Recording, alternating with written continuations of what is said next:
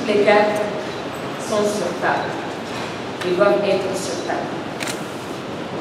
Merci beaucoup, Monsieur le DGS, à travers vous, toute la Commission nationale pour l'orientation des bacheliers.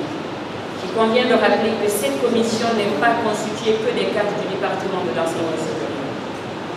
Il y a aussi, au sein de cette commission nationale d'orientation, les cadres des départements de l'enseignement universitaire, de l'enseignement technique, mais aussi la chambre représentative de l'enseignement supérieur privé, mais aussi la conférence des recteurs et des directeurs généraux. Comme je le disais, ceci vient affirmer tout à l'heure ce que je disais. Nous mettons les cartes sur table dans la transparence et dans la vulgarisation de la bonne information. Mesdames et messieurs, en plus de l'orientation, un autre sujet aujourd'hui reviendrait avec moi, des plus historiques et inédits, fait aujourd'hui la une du monde médiatique et du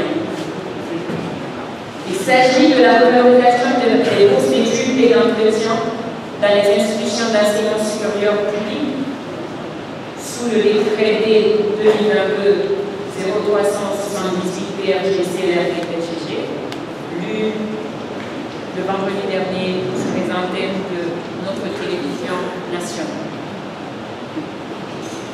À travers ce nouvel acte fort du président de la transition, chef de l'État, le colonel Mamadou Doumbia, nous nous rendons compte encore une fois que les conditions de vie et d'études de nos étudiants est une priorité pour tout le gouvernement et le CLRD dans sa tête, son Excellence le colonel Mamadi Ma communication va s'adresser un peu plus aujourd'hui à l'endroit des étudiantes et étudiants de la République de l'île. Chers étudiantes et étudiants, je suis très honorée et particulièrement fière de vous annoncer personnellement que vos bourses d'entretien vont être revues à la hausse dès la rentrée universitaire prochaine. Ceci est à la fois historique pour notre pays. Et nous devons saluer cela avec toute notre énergie et aussi toute notre gratitude.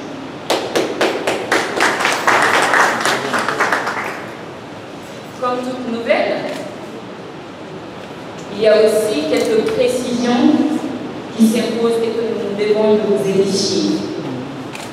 Tous et chacun sur qu'est-ce qu'on entend par bourse d'études et bourse d'entretien. Une bourse d'études représente les frais d'études. Et aujourd'hui, dans notre pays, la politique publique de notre État assure la gratuité pour tous les étudiants.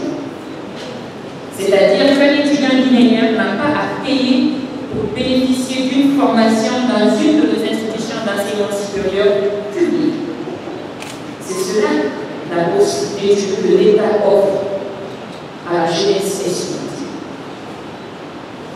La à elle, communément appelée pécule, est une aide financière aussi de l'État, à partir de la volonté de l'État, sous certaines conditions que nous allons énumérer tout à l'heure, qui est allouée mensuellement à chaque étudiante et étudiant afin de l'aider à couvrir certains besoins fondamentaux que nous connaissons tous. En tant que frère, en tant que parent d'élève, en tant qu'enseignant ou encore en tant que chef d'établissement. Ce sont les moyens de transport, la restauration, l'hébergement ou même pour certains, les frais pour les fournitures scolaires. Comme vous le savez, cette bourse avant était conçue 95 000 francs guinéens pour les étudiants de la première année, 100 000 francs pour ceux de la deuxième année, 105 000 pour ceux de la troisième année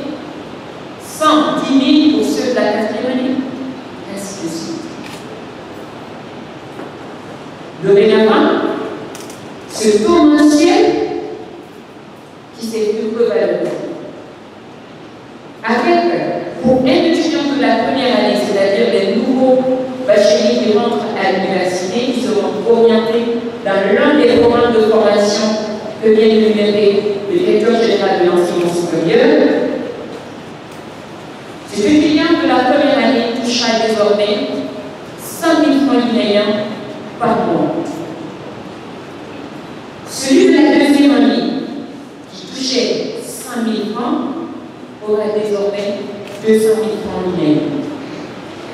Celui de la troisième année, qui touchait 105 000 francs guinéens, touchera désormais 300 000 francs guinéens. Un étudiant de la quatrième année, qui touchait 110 000 francs, se verra toucher un mensuel de 400 000 francs les étudiants de la 5e, 6e, 7e année, c'est-à-dire ceux du cycle ingénieur actuellement dans notre système de formation, ce sont les étudiants de 5e année de l'ISO ou encore d'ingénierie ou les étudiants de médecine de la 5e, 6e, 7e année, ces étudiants toucheront 500 000 francs Juste un petit exemple. Prenons un étudiant de la troisième année, je vous l'ai dit tout à l'heure, qui touchait jusqu'à date 105 000 francs. À la rentrée prochaine, si l'étudiant a validé tous ses crédits, si l'étudiant a suivi régulièrement ses cours, c'est un étudiant guinéen, il touchera 300 000 francs en termes de bourse d'entretien. Ceci, mesdames et messieurs, est absolument historique pour notre pays. Chers étudiantes et étudiants, en plus de cet effort très salutaire en faveur de nos étudiants et étudiantes, une autre bourse, appelée bourse entretien d'excellence, est aussi instituée. Cela est une première en République de vie. Cette bourse annuelle est une bourse de mérite, avec un critère d'excellence. Et cette bourse, elle sera octroyée annuellement sous certaines conditions également. Et ces conditions seront définies dans un arrêté qui sera prochainement publié. Cette bourse d'entretien d'excellence sera accordée aux nouveaux bacheliers, aux sortants d'université, aux diplômés ou même aux enseignants aujourd'hui qui veulent poursuivre leurs études post-universitaires en master ou en doctorat. Mais attention, cela se passera par le biais d'un concours avec des critères d'excellence.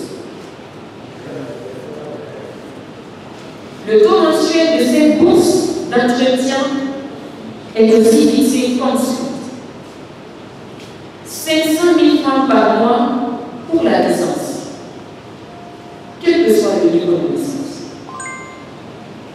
1 million par mois pour le master. 2 millions par mois pour le doctorat.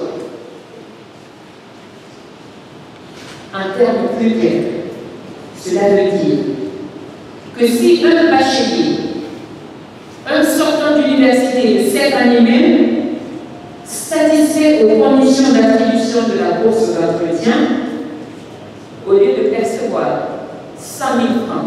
À la rentrée prochaine, il pourra percevoir 500 000 francs soit avec une augmentation de 500%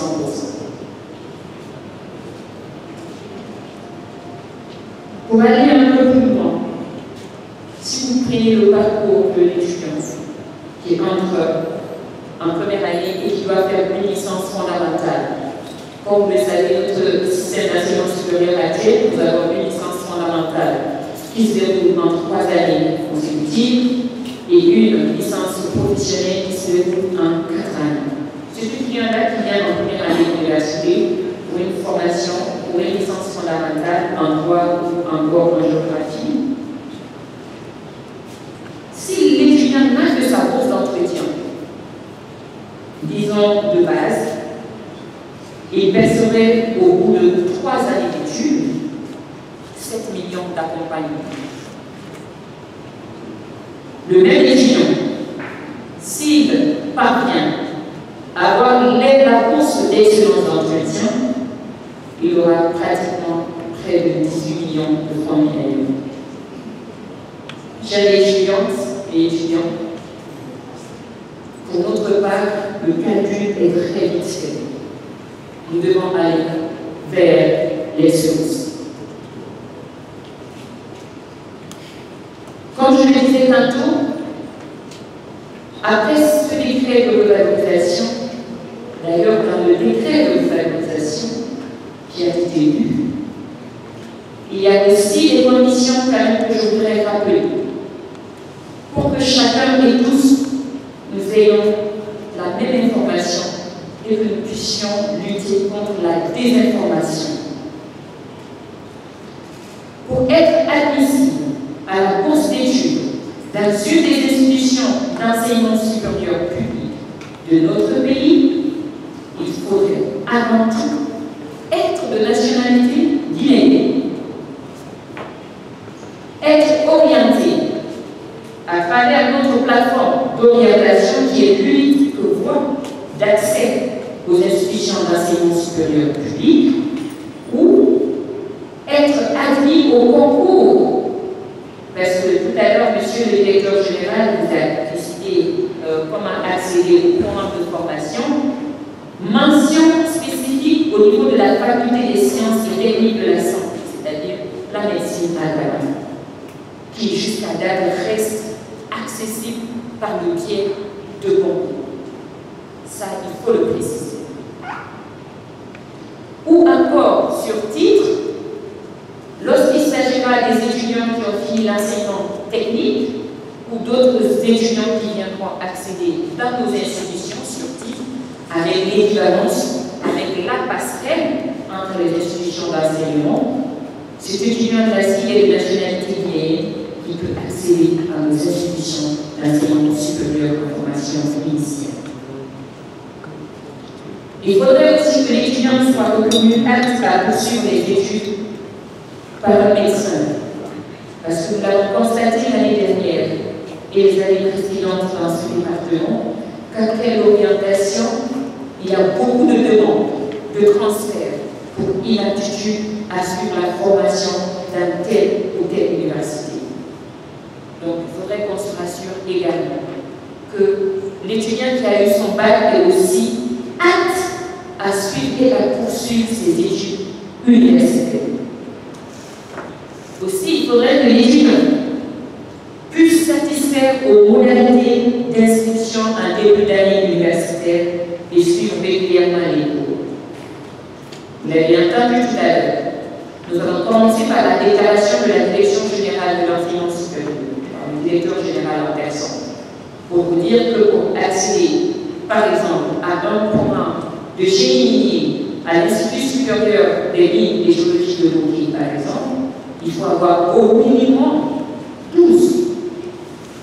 Pas moins, c'est le seul. Cela veut dire quoi?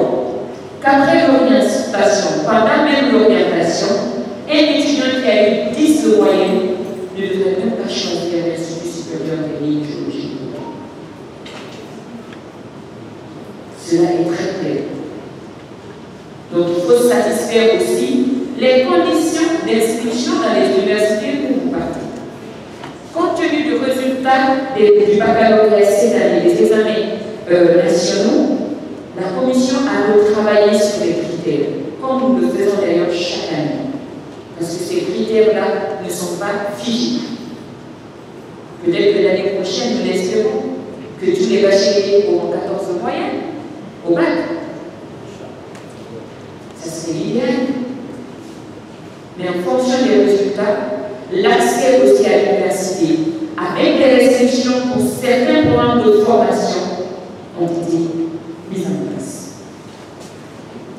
De même, pour être admissible à la course d'entretien, c'est-à-dire les véhicules, y compris la course d'excellence, d'entretien d'excellence, certaines conditions aussi s'imposent à l'échelon. d'abord, il doit remplir les formalités d'inscription au début de l'année et suivre ses cours. C'est une obligation. Ce qui veut dire que pour tous ceux qui pensent aujourd'hui qu'il va y avoir une massification parce qu'il y a eu une revalorisation des bourses, se trompe.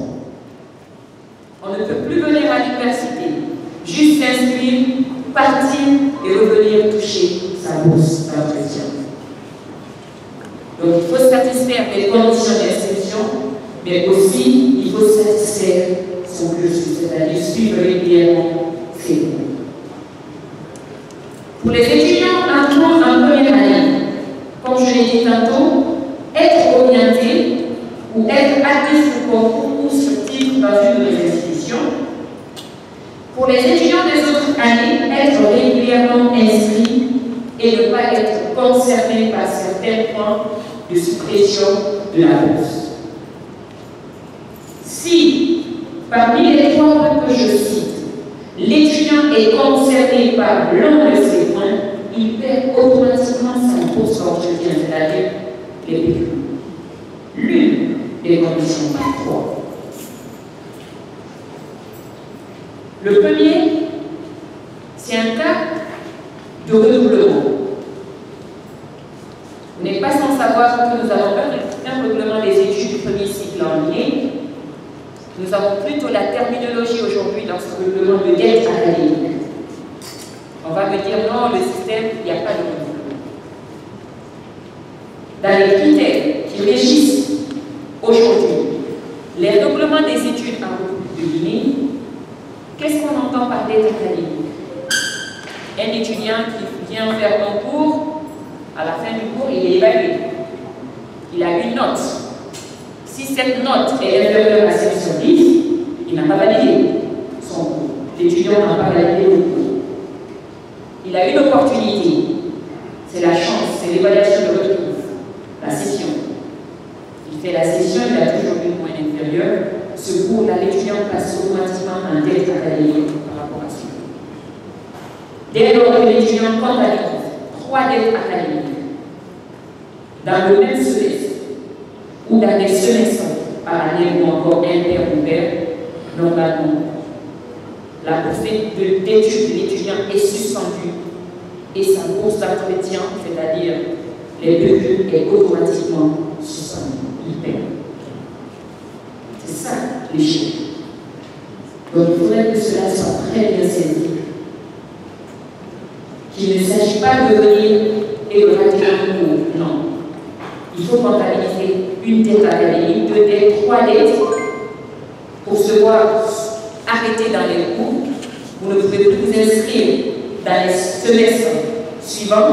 Il faut d'abord lever cette restriction avant de continuer son parcours dans les autres semestres. C'est ce que dit le gouvernement. Et j'espère, monsieur le directeur général de l'enseignement supérieur, que la rentrée prochaine, cela va être votre bataille dans les institutions d'enseignement supérieur pour la vulgarisation des textes de l'enseignement supérieur. Toujours au niveau de ce premier point, il y a aussi les cas d'exclusion du programme. Un étudiant peut être exclu du programme dès lors qu'il comptabilise plus de trois académiques. Ça veut dire qu'il n'est plus en mesure de supporter cette formation. Il va être exclu du programme. Si cela arrive, l'étudiant perd également sa bourse d'entretien. Alors que sa bourse d'études, il a encore un choix. C'est-à-dire, si il a plusieurs dettes académiques qu'on le suspend et qu'il veut la bourse des cours-là, il a encore la gratuité de l'université, c'est-à-dire sa bourse d'études.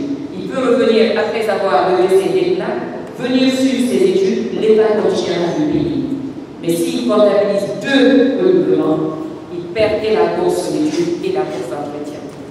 Donc, bien expliquer, dès lors qu'il y a deux échecs consécutifs, c'est la bourse d'études. Un seul échec, c'est la bourse d'entretien. Ce qui veut dire que les étudiants doivent comprendre et se saisir, je l'ai dit la dernière fois, de cette opportunité d'aller vers l'excellence, d'aller vers la formation universitaire, de mieux se former, que cette revalorisation devienne une arme pour l'étudiant de dire j'ai tout aujourd'hui en main pour réussir dans nos universités parce que j'ai la facilité de déplacer.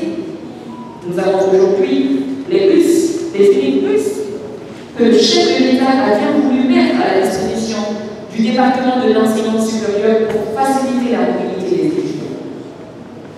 À côté, il y a la réhabilitation des institutions, il y a l'équipement des institutions qui se poursuit depuis plus de 8 mois, 9 mois maintenant.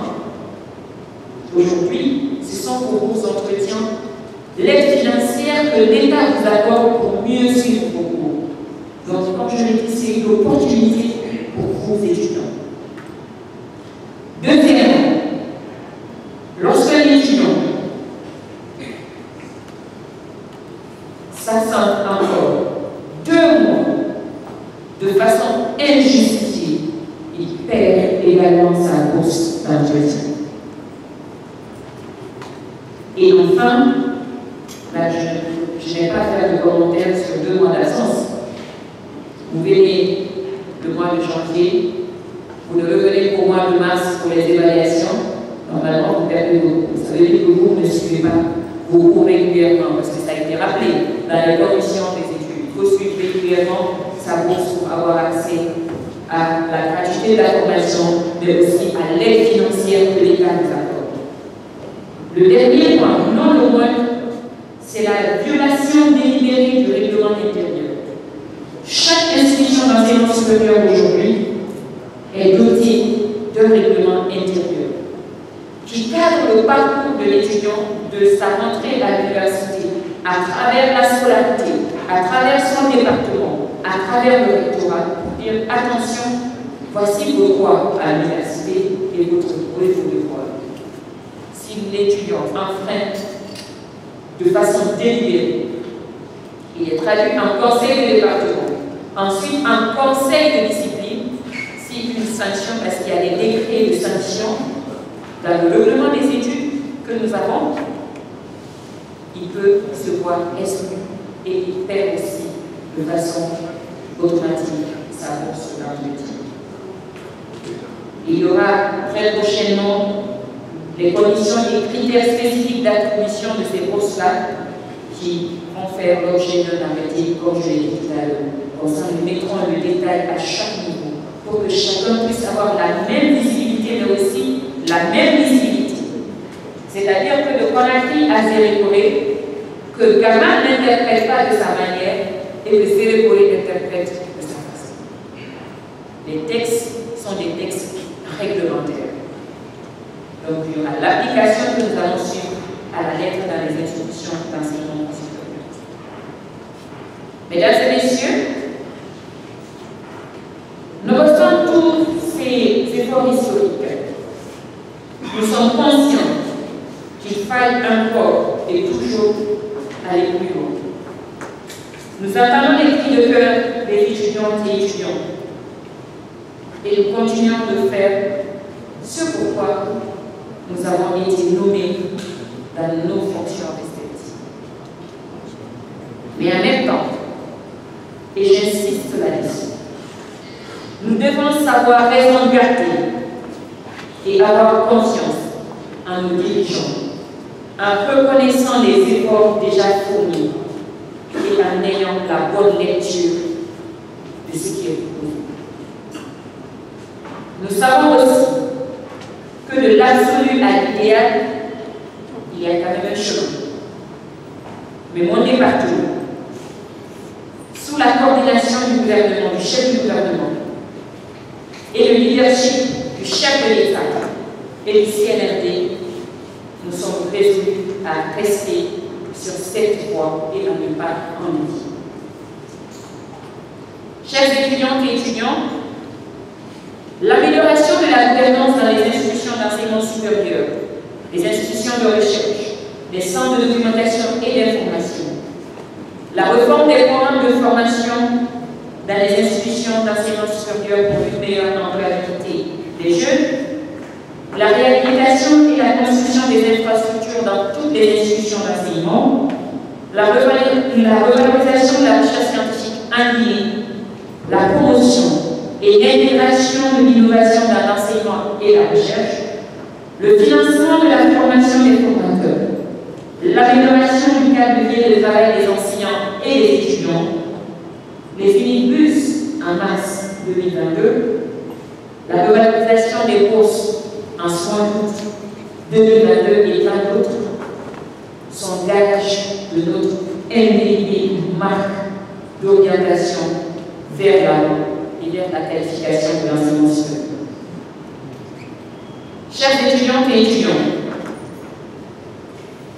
chers responsables d'établissement, mesdames et messieurs, chers organes de la presse, améliorer les conditions de vie et d'études des étudiants et enseignants reste notre priorité.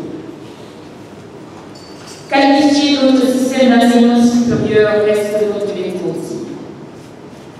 Revenir à notre système d'enseignement supérieur, une place de choix dans le concert des nations, sous-régionales, africaines, internationales, demeure notre fer de lance. Donc, avant de terminer mon allocution, je voudrais signaler qu'avec cette valorisation, des mesures idoines sont déjà prises par le département afin d'entamer dès la rentrée prochaine les opérations de biométrie pour nous permettre aujourd'hui non seulement de maîtriser l'effectif des étudiants dans nos institutions d'enseignement supérieur, mais aussi pour l'efficacité et l'effectivité de ce décret. Je voudrais encore une fois et de façon cette fois-ci très appuyée. Remercier le président de la transition pour son écoute, sa disponibilité à accompagner les réformes et les doléances de notre système éducatif en général et de l'enseignement supérieur en particulier.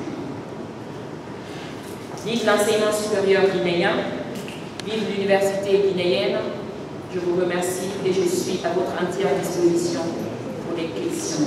Merci. Par rapport à votre question concernant les non-admis bac, ce qu'il faut retenir, et je reste très fort là-dessus, a droit à accès à une institution d'enseignement supérieur, public ou privé, quelqu'un qui a déjà eu son baccalauréat. L'université, c'est post-bac. Il n'y a pas de raccourci si une institution d'enseignement supérieur, qu'elle soit publique,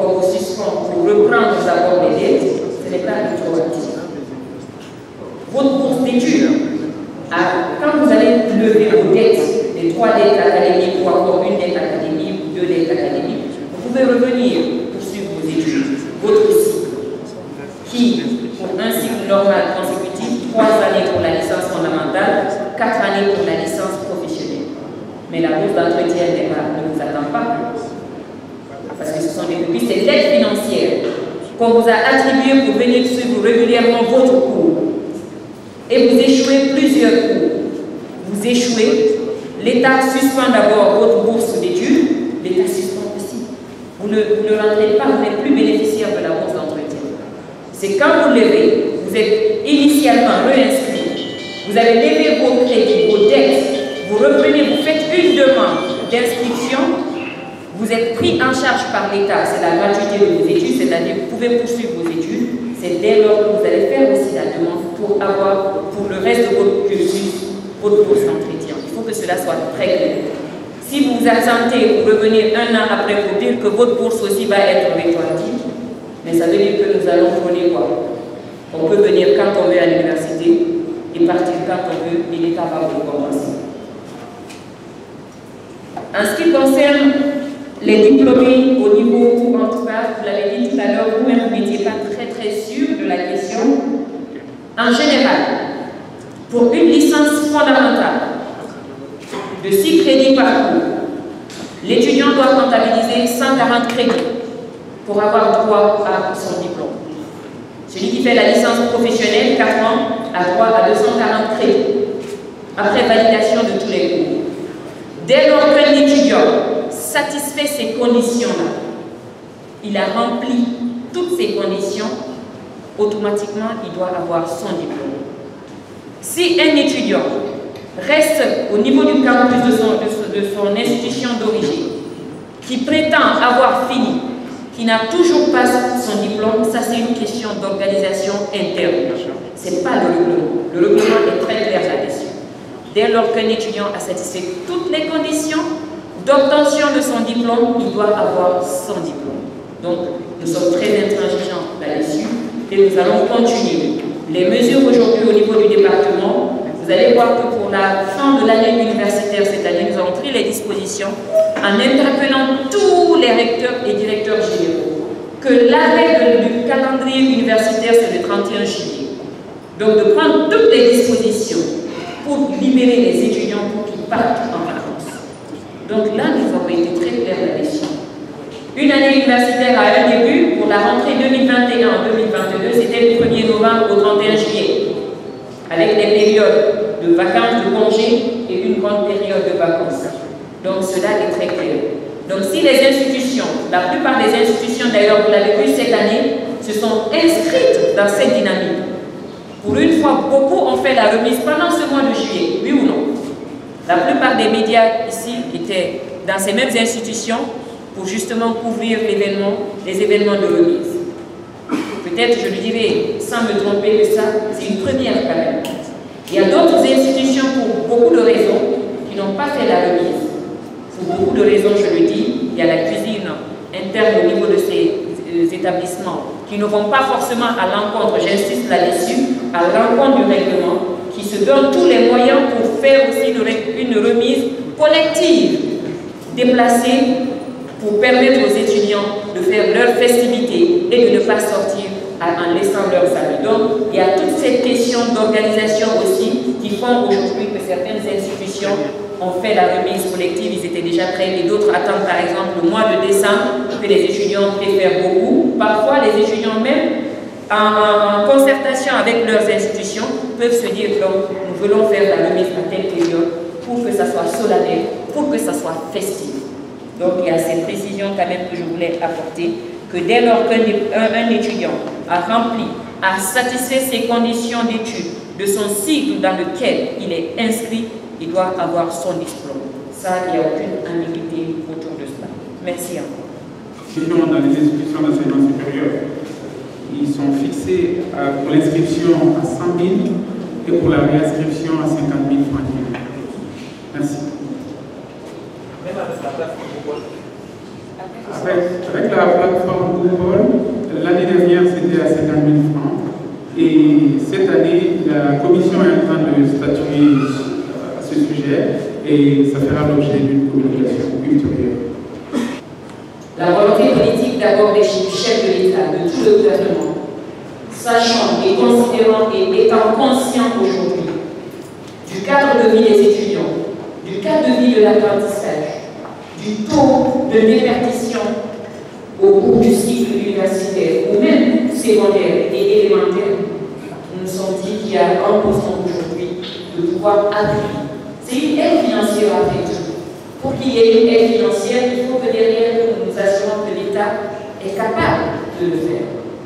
Donc, avant toute chose, c'est une volonté politique et une volonté manifeste du chef de l'État, son Excellence le colonel Mamadi En tant qu'autorité tutelle de l'enseignement supérieur, la tutelle même des universités, des étudiants en public c'est notre combat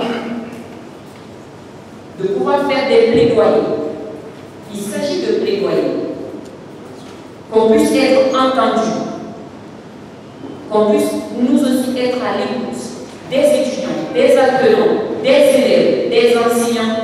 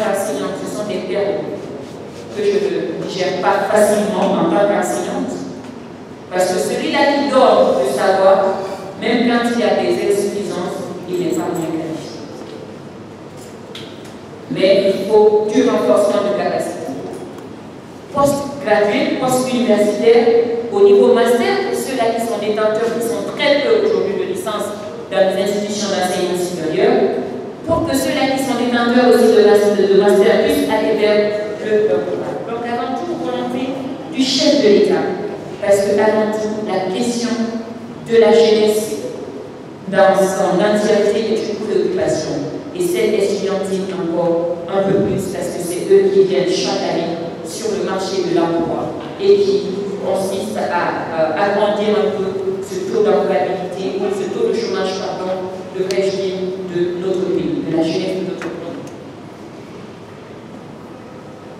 Monsieur Val disait tout à l'heure, avant, pardon, euh, toujours au niveau de la même question, le premier qui a posé la question, les légalismes au niveau du département par rapport euh, à la non-effectivité de ce décret dans les institutions. Ce qu'il faudrait rappeler, c'est que le règlement des études du premier cycle en République de Guinée, il y a un autre règlement des études au niveau du deuxième cycle, un autre au niveau du troisième cycle, c'est-à-dire au niveau master. Dans ce règlement, il y a des sanctions. Et pour un étudiant, pour un enseignant, au sein même de l'université, avant même le département. Parce que ce que vous devez comprendre, les universités sont des organismes publics autonomes dans la gestion administrative que dans la gestion financière sous notre tutelle. Cette tutelle technique nous revient pour la définition de la stratégie de l'orientation et de la mise en œuvre et nous nous assurons aussi du suivi de la mise en œuvre des politiques publiques que nous allons prendre au, au, au compte de l'enseignement supérieur, de la recherche ou encore de l'innovation. Il faudrait que cette répartition des tâches soit bien connue de tous. Donc au sein même de l'université, avec le règlement des études du département aux universitaires, mais aussi avec les règlements intérieurs. Quand il y a des problèmes qui se posent, soit d'un étudiant ou d'un enseignant, c'est résolu d'abord à l'échelle de l'université. Parce que la plus haute instance, après le conseil d'administration sur les questions de gouvernance euh, et les politiques euh, d'orientation technique, administrative ou financière, il y a le conseil de l'université ou encore le conseil de l'étude. Du conseil de discipline, tu peux te voir traîner jusqu'au conseil euh, de l'instrument ou de l'université. Lorsque c'est l'université qui est fautive, nous, nous saisissons en tant que département de tutelle. Et nous essayons de, de résoudre à partir du département. Quand c'est une faute qui va à l'encontre de la loi, le règlement, mais quand c'est à l'encontre de la loi, ce n'est plus au département de le résoudre. Nous saisissons le département de la justice pour justement traiter le dossier. Donc nous, la répartition est très faite. Ça dépend du type de sanction, d'une part résolue à l'interne, d'autre part au niveau départemental et un peu plus loin au niveau du département de la justice, comme actuellement nous sommes en train d'ailleurs de poursuivre certaines institutions d'enseignement supérieur privées qui euh, sont en faute et qui sont traduites devant la justice aujourd'hui. Donc pour vous dire que le département ne ménagera aucun effort. Quiconque va à l'encontre de, règlements des études et enfreint délibérément les lois de la République en ce qui les questions de l'enseignement supérieur, de la recherche scientifique et de l'innovation se verra traduit devant les juridictions compétentes.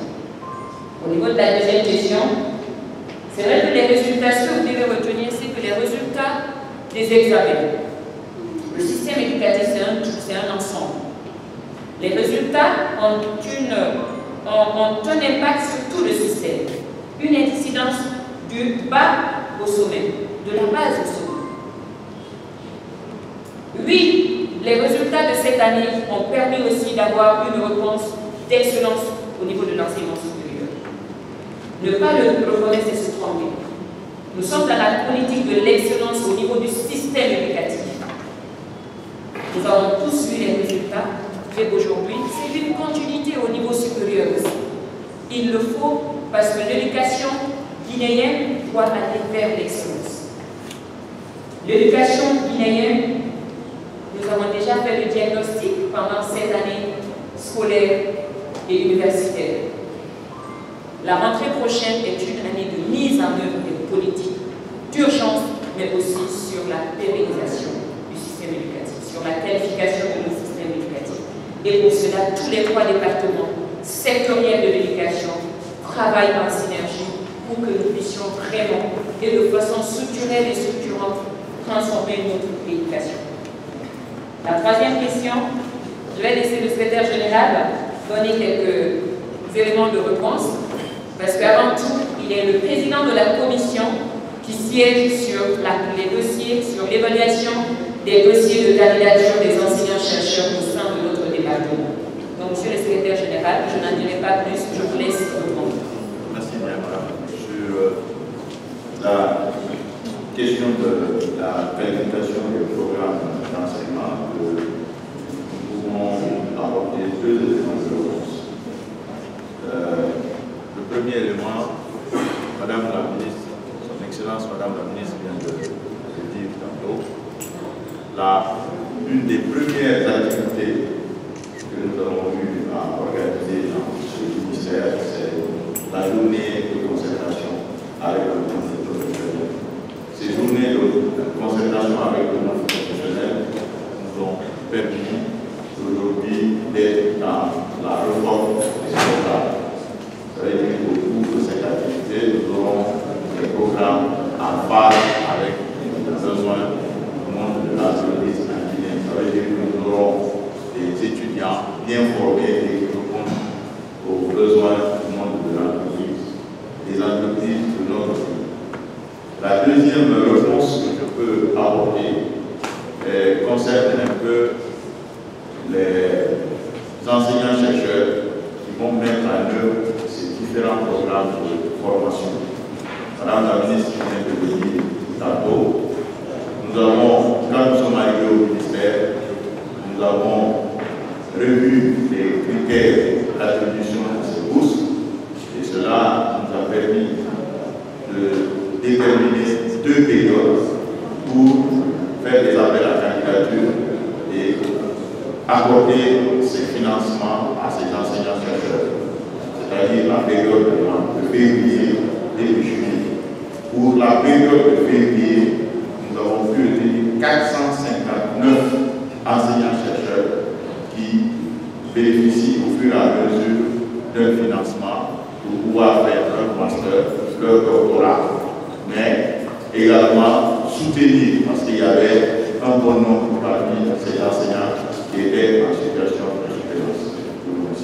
Justement, au nombre de bacheliers, il y a eu très peu, 8700 bacheliers cette année, dont près de la moitié, ceux-là qui ont eu, même pas la moitié, les 200 et quelques qui ont eu la mention très bien, euh, bénéficient aujourd'hui d'une bourse pour l'étranger. Les autres qui sont entre la mention bien et assez bien vont accéder dans les écoles que nous venons de citer justement, qui ont jusqu'à 12 de moyenne, et le reste euh, ira dans les formations, pour, pardon, le reste ira dans les formations euh, voulues, qui n'ont pas de restriction. Parce que comme le savez, il y a des cycles aujourd'hui de génie dans nos institutions, ou encore à la faculté des sciences et de, de, de la santé, qui, sont, euh, qui ont des accès assez restreints, que nous voulons vraiment garder les mêmes critères depuis tous les jours. Si l'année prochaine, je le disais tout à l'heure, si l'année prochaine, nous avons plus de bacheliers qui viennent avec 14 de moyenne, vous verrez qu'à l'université, les seuils aussi seront avec la fonction des moyennes. Donc, euh, c'est ce qui a fait donc les résultats effectivement du baccalauréat nous ont permis aujourd'hui de revoir, la commission a dû revoir les critères d'accès dans ces différentes filières de formation dans ces différents programmes au niveau de l'enseignement supérieur. Madame, si vous permettez, la question c'était pourquoi différencier les seuils Pourquoi, par exemple, en journalisme et en il y a 11 points, en médecine, 12 points Pourquoi Est-ce que cela ne va pas donner l'impression qu'on privilégie d'autres, qu'on valorise d'autres Oui, c'est normal de privilégier certaines formations en fonction du besoin du secteur de l'emploi. Lorsque la réforme des programmes sera achevée au niveau du département de l'enseignement supérieur, il y aura encore une nouvelle nomenclature, certainement des programmes de formation. Parce que cette fois-ci, les programmes de formation seront adossés aux besoins du secteur pourvoyeur d'emploi. C'est vers cela nous voulons aller vers 2030, la domination de l'ordre de formation de l'enseignement supérieur. Que si 55% des bacheliers qui, ont, qui sont dans les branches expérimentales et encore les branches de sciences mathématiques, au retour à l'université, qui puissent avoir de la place pour ces 50%-là qui ont eu le bac et qui puissent aller aussi dans les filières techniques. C'est pourquoi la restriction. Il y a la capacité d'accueil, mais aussi il y a le besoin en termes de formation, qui est très important.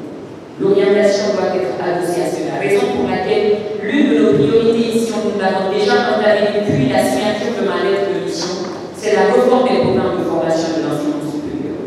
Nous avons déjà fait les journées de, de concertation de l'enseignement supérieur. Il a dit tout à l'heure, nous avons eu les mêmes conclusions.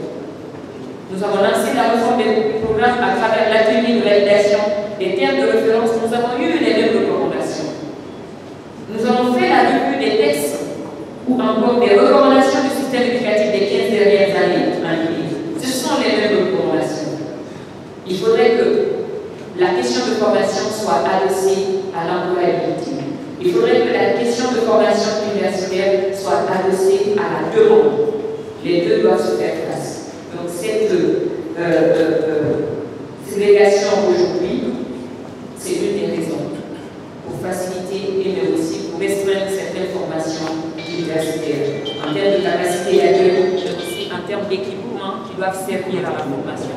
Parce que notre combat, monsieur, c'est vraiment donner aujourd'hui à un étudiant dans, une institution de la République publique, accessible, ne pas être contraint à s'asseoir à bord autour d'une table pour apprendre. C'est ça les conditions de vie et l'apprentissage que nous donnons comme objectif d'améliorer. Ça serait très prétentieux de dire que nous pouvons tout changer. Il y a du travail à faire, nous en sommes conscients, et nous travaillons dans ce sens. Et pour travailler, pour aller vers ce système, des restrictions. Il faut des conditions. Il faut des conditions et encore des conditions pour aller vers ce système que nous voulons tous, je suppose. Pour revenir au global, ce que je voudrais dire aujourd'hui, nous sommes sur plusieurs axes de simulation par rapport au cours que cela pourrait tenir. Sur près de 85 000 étudiants que nous avons, publics et privés, il faut retenir que parmi ces 85 il n'y a pas 87 000 conseillers de l'État. Parce qu'il y a encore le privé et il y a d'autres formations qui étaient avant dans les universités de la formation qui était payante. Jusqu'à novembre dernier, nous avons arrêté l'inscription en formation payante pour les questions de pléthore et pour les questions que je viens de vous élucider tout à l'heure. Favoriser un milieu d'apprentissage standard pour l'étudiant et éviter que l'étudiant vienne apprendre dans certaines conditions. Deuxièmement, sur ces 85 000, il que près de 62 000 qui sont boursiers de l'État, c'est-à-dire qui reçoivent soit la bourse d'entretien ou sont inscrits pratique. Et cette année universitaire, c'est-à-dire la fin de cette année universitaire, nous attendons des statistiques qui vont nous être remontées, mais il y a près de 14 000 étudiants qui vont sortir de l'université cette année, sur les 62 000. Donc vous voyez un peu le calcul, on aura moins d'étudiants l'année prochaine, en plus de 8700 qui ont reçu le bac cette année, dont une partie déjà euh, va pour le Maroc pour euh, euh, la formation, les autres vont aller à la faculté, vont faire le concours pour accéder aux grandes écoles, les classes préparatoires. Un autre groupe va faire le concours d'accès à la faculté des sciences et techniques de la santé. Cela qui correspond être dans nos universités et dans les institutions d'enseignement technique et professionnel. Donc on a très peu de la chimie à Gognanté. Cette année, nous sommes avec le Mimi à Gognanté. Donc, vous ne faites que 4 Maintenant, par rapport au coût, c'est-à-dire que le budget de l'enseignement supérieur, le budget euh, de l'éducation, du système éducatif, à cette, cette année 2022 était de 12%. Donc, l'enseignement supérieur est à peu près sur 4% du budget. Donc, euh, pratiquement, j'ai demandé tout de suite à faire les calculs avec les nous avons eues sur nos 4% là, 4% pour 100%, vous avez fait 12% avec les nouvelles simulations, avec les nouvelles bourses, avec cette revalorisation pratiquement un, un, dixième, de 12%, un dixième de notre subvention. Nous, pour nous, c'est c'est pourquoi nous sommes arrivés à cette solution définitive que le chef de l'État lui-même a porté le flambeau pour que la revalorisation soit actée et que désormais l'étudiant guinéen puisse avoir des assistances financières, puisse avoir de meilleures conditions. Et comme je le dis toujours, j'espère que nous, étudiants et étudiants, nous saurons profiter de cette opportunité qui nous a été offerte par les autorités de la transition. C'est très important, j'insiste là-dessus. Parce que si vous ne savez pas ce que cela vaut de passer de 95 000 à 100 000, de passer de 100 000 à 200 000 pour un étudiant qui n'avait ni les frais de transport, qui n'avait pas accès à un logement décent. Parce que pour apprendre et pour maintenir un étudiant en place, il faudrait que vous puissiez assumer certaines de ces responsabilités. C'est ça la raison de l'État, à travers notre département, et que nous mettre dans une étiquette de valorisation. C'est ce message-là que voulons lancer le chef de l'État, que nous sommes entendus, nous étudiants, je parle toujours, quand je parle des étudiants, je dis nous, que nous sommes entendus et que nous sommes écoutés. Autour de la table de tout se décide. La politique aujourd'hui de notre département, c'est d'aller vers l'amélioration continue. Et pour ce faire, il faudrait qu'en face de nous, que chacun puisse reconnaître les efforts qui sont déjà consentis. Ça, c'est très important. Loin de tout calcul politique, loin de toute considération, loin de tout jeu politique, j'insiste encore là-dessus. Ce décret, c'est pour améliorer les conditions de vie du jeune millénaire, du jeune étudiant millénaire qui va quitter Zélimoni pour aller à Kangan, ou quitter Kangan pour venir à Daraba, ou encore quitter Daraba et venir à Paris faciliter sa mobilité. Il a fallu, nous avons aujourd'hui 25 plus avec tarifs de vie. Nous avons fait des simulations ici. Pour un étudiant son année au près de 15 000 francs ou 25 000 francs, nous sommes venus à combien 3 000 de cachet. C'est-à-dire qu'il quitte du vrai cas pour dit le paye de 3 000. Ça, ça ne va pas dans le dans nos poches au niveau des départements. C'est pour permettre à ce que le bus continue de fonctionner. Et en retour, en contrepartie, le département subventionne la circulation des bus pour faciliter et pour améliorer les conditions d'apprentissage. Et alors que nous avons tout ceci aujourd'hui dans le package, nous avons tout ceci aujourd'hui offert aux étudiants.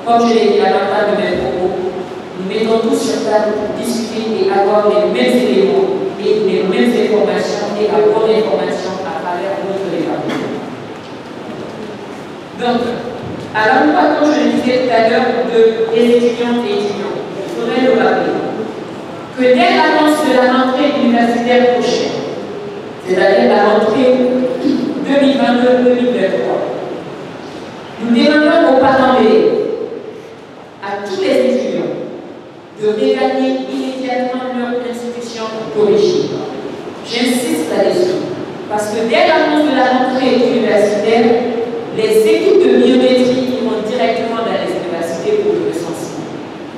Le payant de la bourse sera assujetti au recensement de l'étudiant. Je vais être clair là-dessus.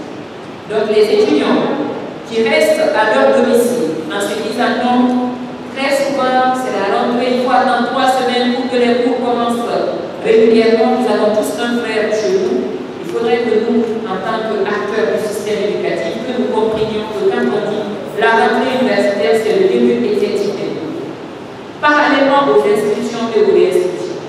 C'est-à-dire que si c'est le mois autour de toi, autour de la rentrée, le jour de la rentrée universitaire, il y a non seulement le début effectif des cours, mais il y a le